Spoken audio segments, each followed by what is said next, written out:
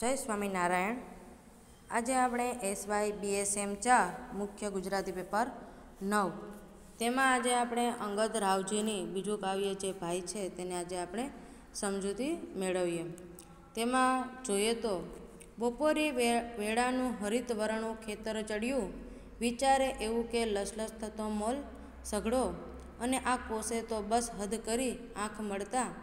ઉલેચ્યા પાતળો પુનરીપ હવે તે ટપકતો રહ્યો, ભીતે બેઠું વિરહગ જઈ ત્યાં સીમ નિરખી. કરે છે ગીતોનું સ્મરણ, કરું હું કાન સરવા. ચડ્યો જોકે એવો બળદ, પણ બીજો મુજ સમો. રહ્યો આ વાગોળી, લચકઈ પડ્યા લોચન મહી. પછી તો ડાવો રખનવમાં આવ્યો હૃદયમાં.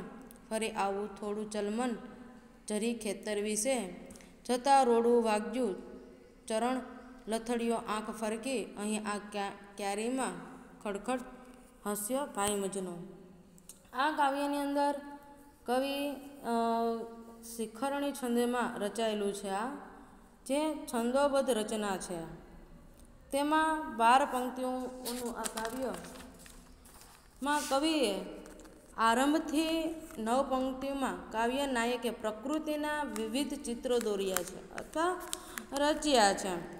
કાવ્ય નાયકે બપોરનો સમય પસંદ કર્યો છે. આ રચના વાંચતા રાજેન્દ્ર શાહનું ગીત બપોરી વેળા થઈ રહી થતી રહેલો એ સહેજ આપણે યાદ આવી જાય છે. જો કે આ ગીતનો વિષય અને ભાઈ કૃતિનો વિષય ઘણો અલગ છે. કોઈ ખેડૂત કવિ આલેખન કરી શકે એવી અહીં તેની ખેતી અંગેના જીવનની સામગ્રી રજૂ પામી છે.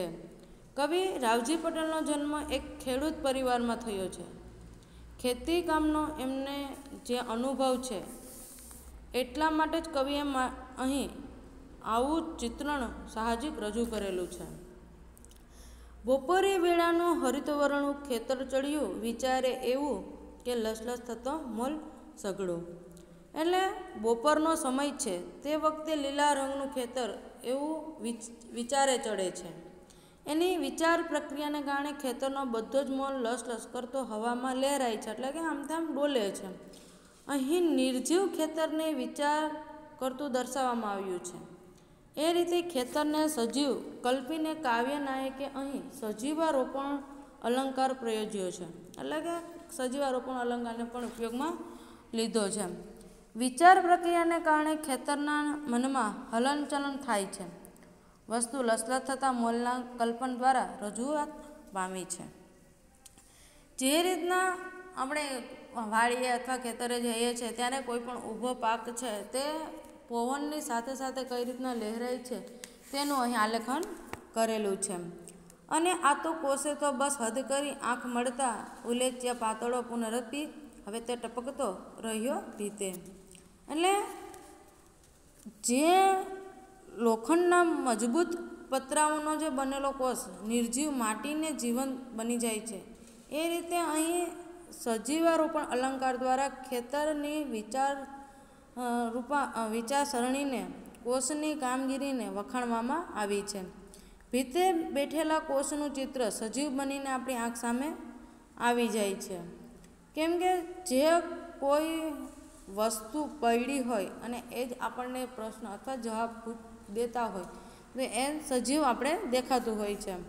એટલે કે અહીં પણ કવિએ એને આ કોષે તો બસ હદ કરી આંખ મળતા ઉલેચ્યા પાતળો પુનરપી હવે ટપકતો રહ્યો ભીતે એટલે કે જે ભીત ઉપર કોષ લટકાય છે, એ જાણે પોતાની આંખ સાથે આંખ જોવાથી, મળવાથી, એ પણ ટપકતું પાણી, જે રીતના ઉલેચીને પાણી બહાર કાઢે છે, એવી રીતના એ ટપકતું દેખાય છે.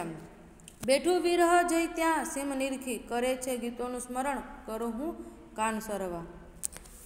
એક પક્ષી કોષની પાસે જઈને બેસે છે અને ગીત ગાવા લાગે છે.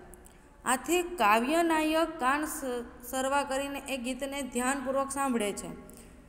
અહીં ગીત ગાતા પક્ષીનું અને એ ગીત સાંભળતા કાવ્ય નાયકનું ચિત્રાંકન અહીં રજૂ કરેલું છે. એટલે કે બેઠું વિરહ જઈ ત્યાં સીમ નિરખી. કરે છે ગીતોનું સ્મરણ કરું હું કાન દઈને. જે પક્ષી કોષ ઉપર જઈ અને ગીત ગાય છે, એ કાવ્ય નાયક જે શાંતિથી બેઠો છે, એ કાન દઈને સાંભળવાનું કોશિશ કરે છે. ચડ્યો જો કે એવો બળદ પણ બીજો મુજ સમો રહ્યો આ વાગોળી. લચકાઈ પડ્યા લોચન મહી.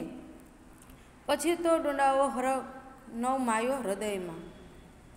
આ પંક્તિની અંદર બીજા બે ચિત્રોને દોરે છે. એટલે કે બીજા બે ચિત્રોને આલેખે છે કવિ. કોષ ચલાવીને થાકી ગયેલો એક બળદ ઝોકા ખાય છે અને બીજો બળદ ખાધેલું બચાવવા વાગોળી રહ્યો છે. વાગોળવાની આ ક્રિયામાં વિચારે વાગોળવા એવો અર્થ સંકેત પણ રહેલો છે.